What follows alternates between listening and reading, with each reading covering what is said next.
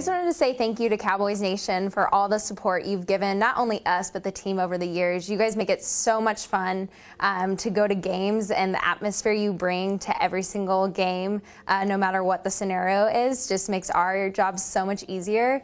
Um, and it's been an amazing uh, journey to be a part of.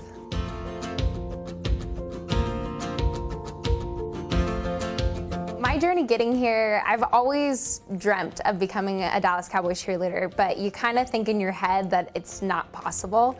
Um, and so, kind of at the last minute, I decided to make the move down to Dallas and just give it a shot. Um, and so, I definitely think that if you have ever wanted to try this, just go for it because you never know where it's going to take you. Um, and I was fortunate enough to make it on the team and be here for two years, and it's been the best two years of my life. My favorite memories in general are just kind of the behind the scenes, um, the locker room talks um, that we have with our team. And, you know, we'll have shows that are 12 hour days and you're exhausted and delirious. Um, but this team and this sisterhood just makes it all worth it. Um, on top of that, going on tour for the first time and getting to visit our military overseas was such a rewarding experience and one that I will cherish for the rest of my life.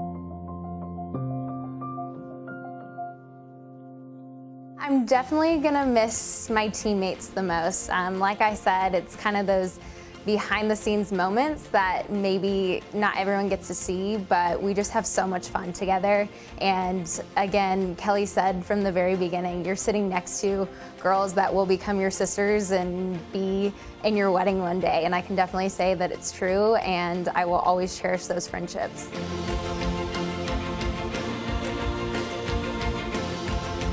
I think my favorite intangible is just the memories. It's the things that people can never take away from you. You know, they can take the uniform away, but they can't take away the bonds that we've made as a team. They can't take away those, you know, last seconds in the game where everything is so exciting and you're just, you know, dying with anticipation um, to see kind of the outcome. Um, it's been an incredible ride, and those are all memories that I will hold on to forever.